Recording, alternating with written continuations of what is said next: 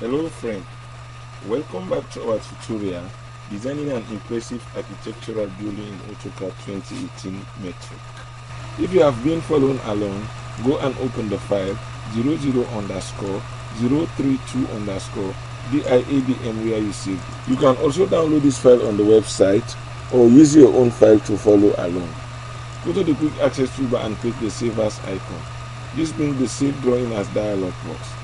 Rename this file to 00 underscore 033 underscore DIABM and click the save button. In this tutorial, we're going to learn different method of modeling our 3D model.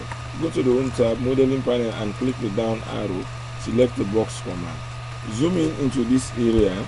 At the specifying first corner prompt, use the endpoint object snap and snap into this vertex. At specifying other corner prompts, move the mouse cursor and snap to this vertex. Now move the mouse cursor up and type 1000 millimeter. Press enter. The advantage of the box command, any height that you use, AutoCAD remember that height in a drawing season. Now, if I click enter to repeat the box command again, at the specifying first corner prompt, go and click at this vertex. At specifying other corner prompt, click on this vertex. Now just press enter. AutoCAD remember the previous height that you specified. Let's continue to draw in this manner until we draw the window sill of the our 3D model. Press enter to repeat the box command again.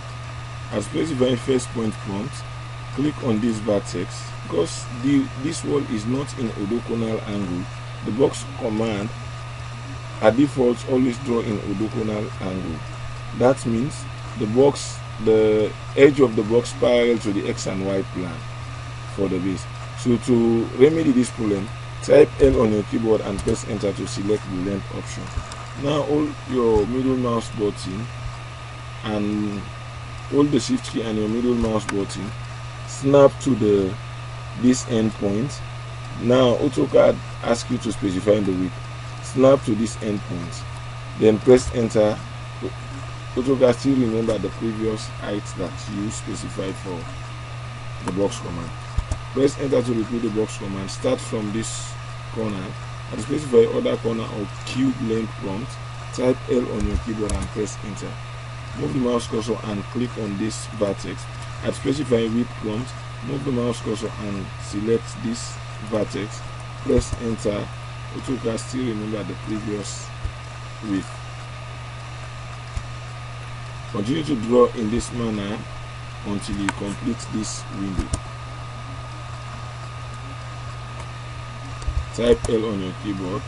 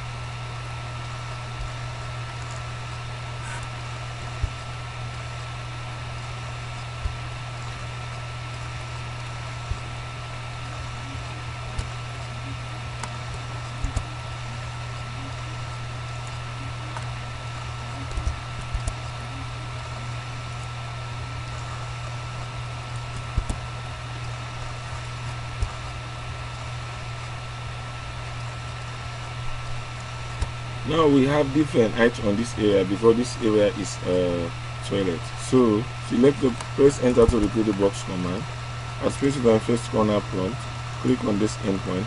Now move the mouse cursor to this other corner. Type 1500 press enter. The box goes to the wrong direction. Select the box and hit delete on your keyboard. Select the box command again. Click on this vertex and this vertex move the mouse cursor up and type 1500 press enter Now zoom in into this area, go to the 3D Tools tab, modeling panel and select the box command. Click on this vertex, move the mouse cursor and click on this vertex. Now move the mouse down and type, type 800, 800 millimeter, press enter. Press enter to repeat the box command. Click on this vertex and this vertex, press enter. Press enter. Continue to draw the until the lintels are finished.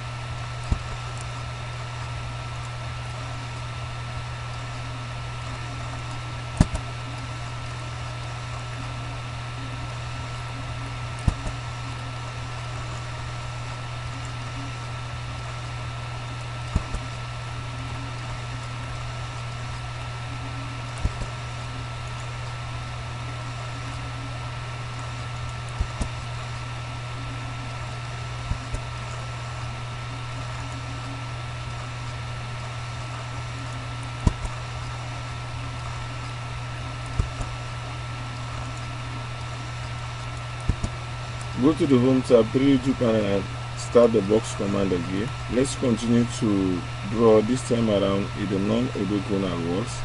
Click in this area type l on your keyboard and press enter. Press enter. Continue to draw in this manner until you complete the lintel type l press enter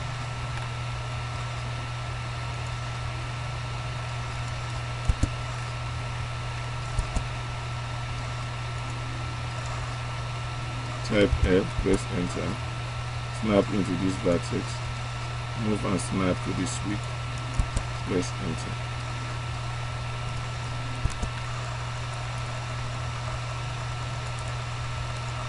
Type L, press enter, click on this vertex and this vertex. The reason why I, I always press enter because can still remember the box height until I change it if you look at the commander you see minus each on here you can enter this figure once then the next one only you need to do just press enter. You can still remember until you want to change the figure. Type L on your keyboard. Click on this vertex.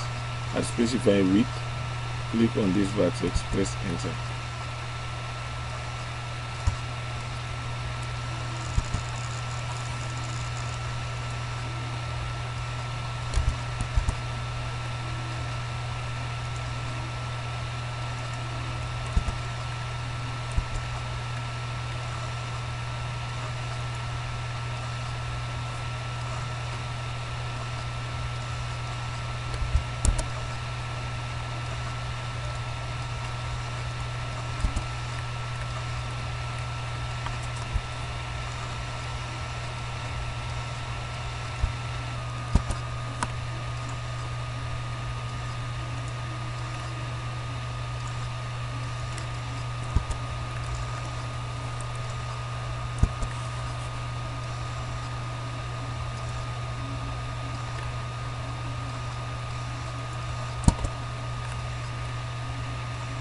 Go to the status bar and click the grid button to turn the grid off. Normally in real world, the kitchen window has a different seal height from the oh. other windows. So to increase the height of this window, go to the 3D Tools tab, solid edit panel and select the press pull command. Zoom in into this area, move up and type 200 millimeter, press enter. Pull this face up and type 200 millimeter press enter. Press escape to get out of the press pull command. Now all these solid that you draw in this tutorial are separate solids so we need to unite them.